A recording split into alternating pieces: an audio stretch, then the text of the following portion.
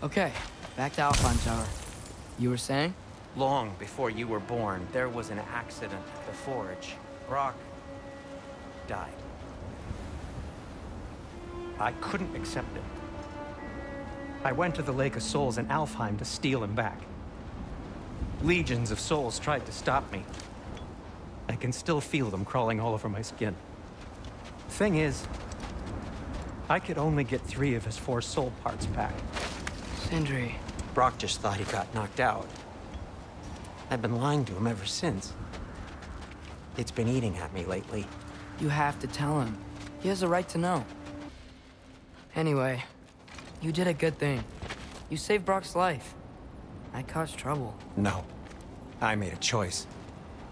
One that wasn't mine to make.